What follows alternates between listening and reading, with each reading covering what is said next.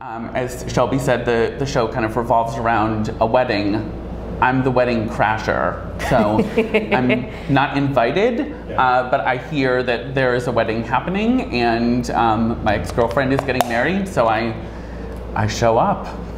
it's very fast, and by the time the audience figures out what has just happened, there's something else hitting them in the face, which I love that concept. Um, so some people are coming, some people are going. You know, there's always uh, some conflict that arises in the middle. You know, then poor Jenny, she thinks. In fact, there is a song, "Poor Jenny." Not to give away too much, my character finally gets to the point where she's done. She's done.